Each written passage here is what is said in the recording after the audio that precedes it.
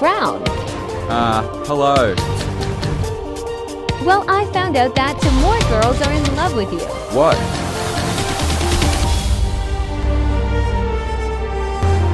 Truman, it's just me and you to be together. Well, I don't think so. You should have more girls.